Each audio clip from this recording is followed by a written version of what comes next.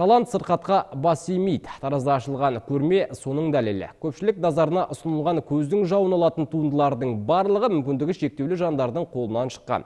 Он саусағынан өнер тамған шеберлердің жұмысын әріптесім Перизат Көмекбайқызы көріп қайтқан еді. ой бәрі жиналып қапты қандай тамаша талай жылдан бері мәдениет пен өнер саласының дамуына үлес қосып келе жатқан майара дәуренбаева осы уақытқа дейін жетпіске жуық спектакль қойып үлгерген. Қуыршақ театрлары ұсынған қойылымдардағы кейіпкерлер он саусағынан өнер тамған шебердің қолынан шыққан. Көбінесе ертегі персонаждарына жан бітіріп түрлі ойыншықтарды жасайды. Ісмер кей жұмыстарды дайындауға тіпті бір ай уақытын сарп етеді екен. Жасы жетпіске таяған кейуана қолөнердің ерекше құдіреті бар деп түсінемін дейді. Ішінде лепка жасайды ең басында. Папье маше одан кейін механиканы ойластырасың қалай қимылдайды қуыршақ одан кейін не бұлар сөйлегенге жүгіру керек.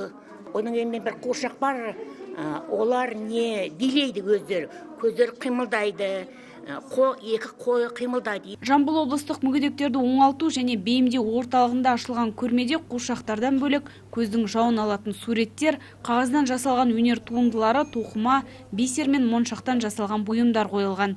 Көпшілік назарына ұсынылған жұмыстар аса шеберлікпен жасалған. Орталық қызметкерлерінің сөзінше бұйымдарды жасау нәтижесінде кем бағал жандардың жүйке жүйесі мен ми жұмысы жақсарады. Сегіз бағыттың ішіндегі әлеуметтік еңбек бағыт бойынша осындай жұмыстар жүргізіледі.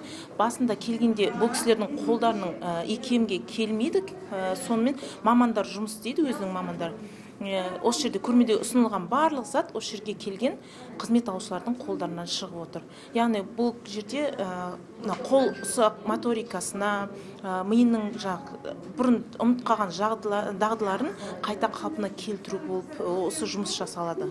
Мүмкіндігі шектеулі жандар қолөнер туындысын жасауды үйренумен қатар табыс табуға мүмкіндік алуда. Көрмеден түскен қаржы ортақ мүддеге жұмсалмақ. Перизат көмекбайқызы азат байтемір жамбыл ньюс